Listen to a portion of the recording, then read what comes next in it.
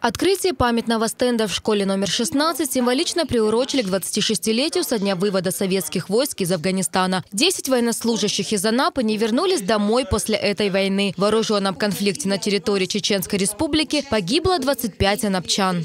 Сегодня я хочу обратиться к молодому поколению, будущему нашему поколению. Открывая этот стенд памяти нашим землякам, которые погибли, выполняя свой воинский долг, и среди них есть и учащийся вашей школы Иван Крыгин, который погиб при исполнении воинского долга в Республике Чечня.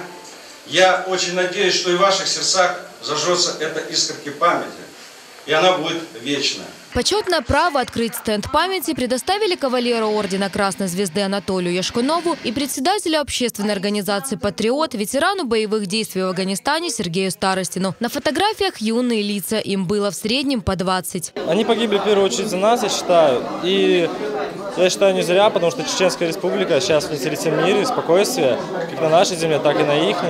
Люди могут спокойно жить и ну, радоваться мирной обстановке. На торжественном открытии стенда памяти собрались мамы погибших воинов-интернационалистов. Этим женщинам выпала нелегкая, самая страшная для матери участь – потерять сыновей. Фотография Антона Доронина, погибшего при исполнении воинского долга в Чечне, на памятном стенде среди остальных. Антон погиб молодым парнем, ему было всего 19 лет. 26 ноября я его видела последний раз знала, что 27-го их увозят в Чечню, и я 26-го приехала в его отряд. И я сказала ему, давай я тебя заберу. Мне все равно, что мои документы остались на КП, я тебя заберу.